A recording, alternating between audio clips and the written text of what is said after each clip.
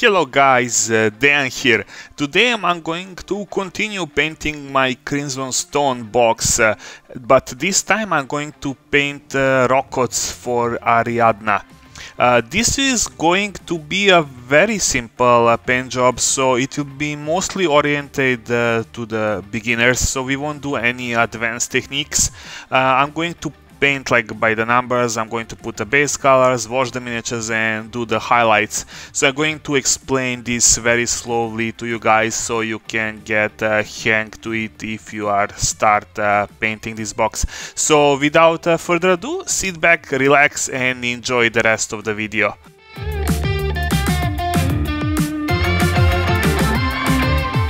Before putting uh, base colors, I prime the models uh, with the blacks primer. Uh, you can do this with the spray or the airbrush, whatever you have on your hand. Just be thorough and make sure that the paint is equal all around. Now I will put a base green color on the boots and the pants. I will use the same color for this, so it will be Luftwaffe camo green and I will apply this in uh, two very thin coats so I'm going to wait for the first coat to completely dry and then I will go around uh, with the second pass and uh, apply it uh, until I'm satisfied that I cannot see any black under it. After that I'm going to pick up a neutral gray and I'm going to paint uh, his uh, shirt uh, with this color. Uh, I will also apply it in uh, two very thin coats so that I cannot see any black under this color. Also, I need to mention that every time I'm using these paints, I'm putting them on my wet palette and I always add uh, one drop of water to the paint, so as you can see it flows much better from my brush. Now we move for the next color, this will be a dark Prussian blue and I'm going to use it uh, to paint these dark blue details. Uh, there is a couple of them on his uh, shoulders and uh, straps uh, that are holding his armor plates try to be as neat as possible but if you make any mistakes uh, just go back to the previous color and repaint the spots.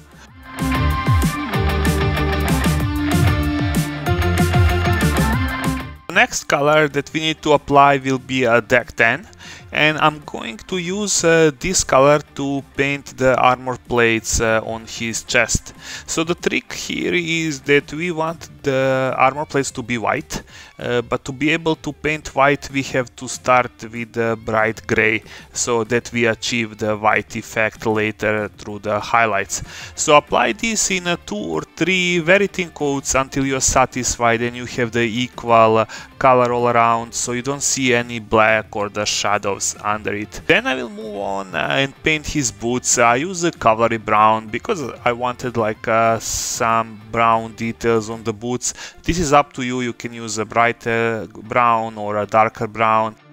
And then uh, for the rest of the leather pouches and the straps uh, that these models have, I will use a chocolate brown. So I will go around and just uh, paint them uh, very thoroughly uh, with this color. So make sure that you go inside the recesses and inside of the hidden areas.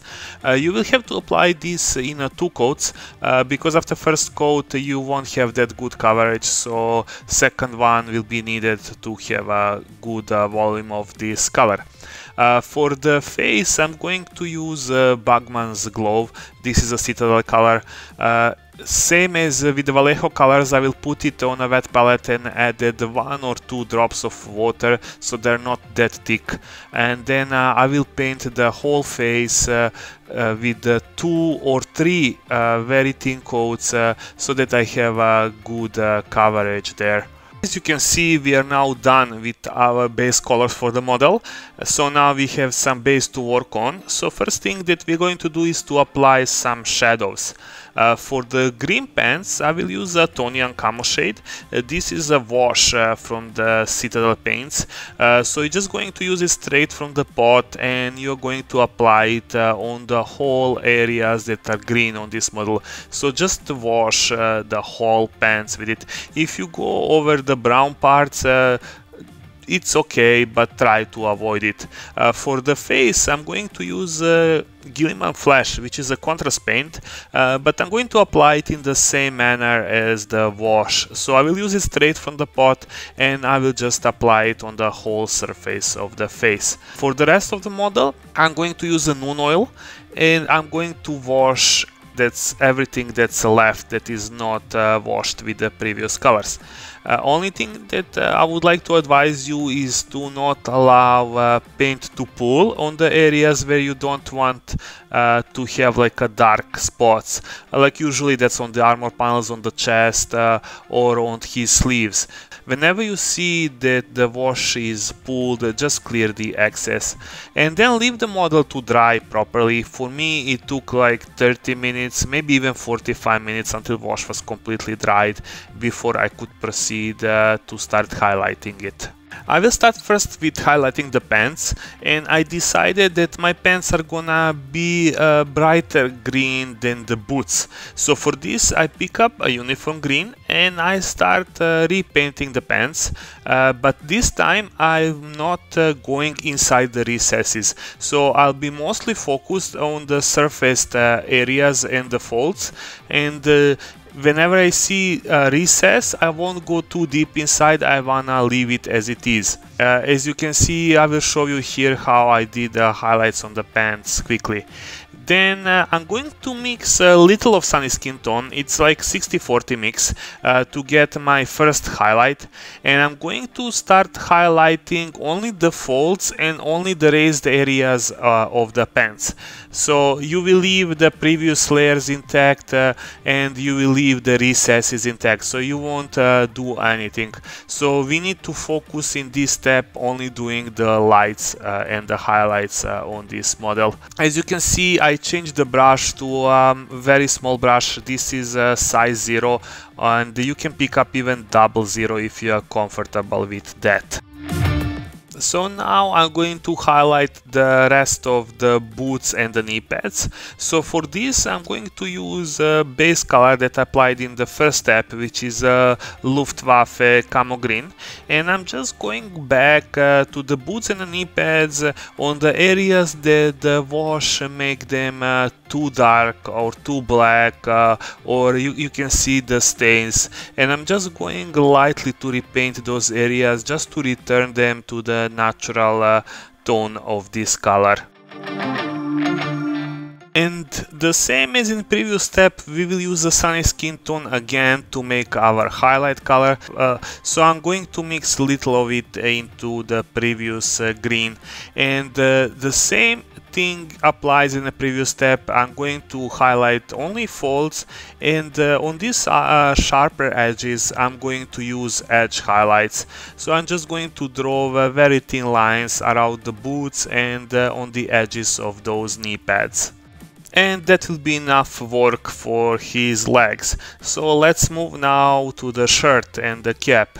So I'm going to use a neutral gray and uh, I'm going to go back and I'm going to repaint all the gray areas uh, because the wash made them too dark. Uh, but I will still use the wash and leave the shadows intact. So you won't uh, paint the recesses with this color so you will go only on the surfaces that are mostly exposed to the light and uh, areas that are on top Now I'm going to mix a little of white uh, into this color and uh, start uh, doing the highlights. So same as in previous step, uh, you are going to do edge highlight uh, whenever that is possible. Uh, when there is no edges like on the sleeves, you will highlight the top of the folds. Uh, this highlight can be a little thicker highlight and cover little larger areas, but don't go inside the recesses. And then for the final highlight, uh, I'm going to use a pure white and now I will highlight even smaller areas that are highlighted in the, in the previous step. So I will go over those areas that I did in the previous step, but I will highlight them much less. So on the folds you will do uh, thinner lines, and on the edges you will do much smaller lines than you did in the previous uh, step.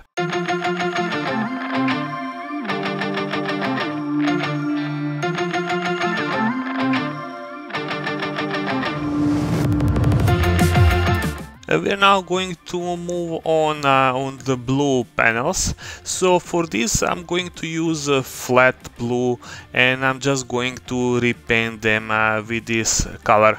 Uh, same as before, I will leave uh, all the recesses intact so that I have my shadows there and uh, after I'm done with this step I'm going to add a very little of white into this color so that uh, it uh, makes my highlight color and then I'm going to do a very little highlight it is just uh, on the edges uh, and on the corners now we're going to start working on our chest plate. As you can see the wash uh, made them uh, really darker and stained. So to fix that I'm going to use Deck Tan and I'm going uh, slowly to start applying it uh, in very thin coats a few times until uh, I'm satisfied that they really look like much brighter. so here you have to be very careful not to go inside the recesses or not to go inside the bolts uh, because you want your shadows to remain there and it will be tricky to fix it later. Now I'm going to add a little of white to the Deck Tan and I'm going to repaint like uh, upper half of the plates and then I'm going to add a little more white and then apply like upper third of the plates and uh, for the last step I'm going to use uh, pure white and uh, just uh, highlight the edges of those plates.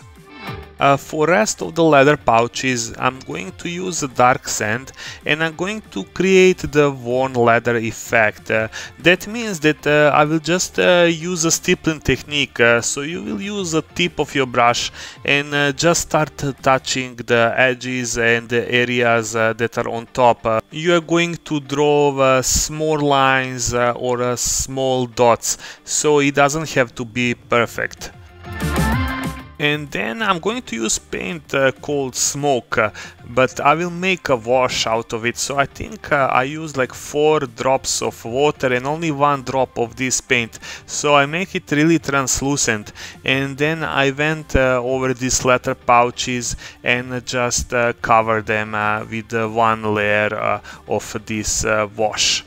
Or I can even call it glaze at this stage.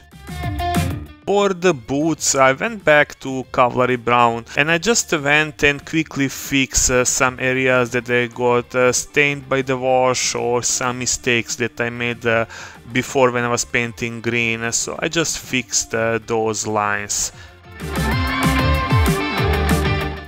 Now I'm going to start working on the panels that are black and on his uh, shotgun. So I will start uh, with uh, neutral gray and I'm going to apply edge highlight on every single sharp edge that I can see or every little line on his weapon. Uh, these lines doesn't need to be uh, super thin, uh, but you want to be uh, tidy and precise here. It is a, little time consuming process but more of these lines that you outline and trace everything will look much better so just be patient uh, pick up one of your smallest brushes and just go around the model and highlight uh, all of these uh, lines and edges and uh, for the final highlight you're going to pick up a pure white and you're going to repeat the same process uh, so you're going to go back and trace uh, all those lines again uh, but this time you want to make them really thin so in this step uh, they have to be a thinner than a previous line so that you can actually see the gradient uh, from the black to the neutral gray and then to the white on the top.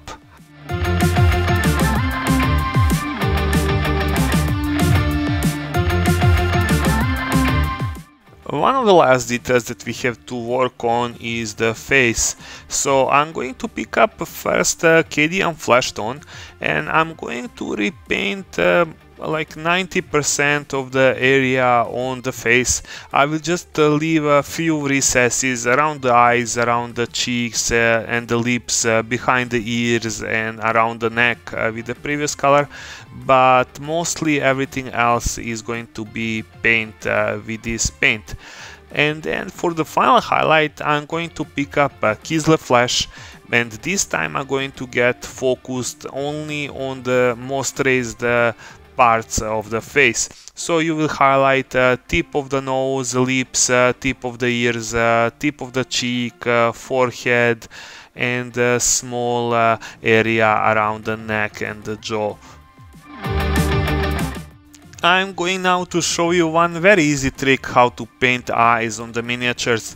So you're going to pick up uh, first white and then you're going to paint the whole eye socket uh, inside uh, with this uh, paint. Uh, so just be careful not to go on the face but uh, be focused on the inside of the eye socket.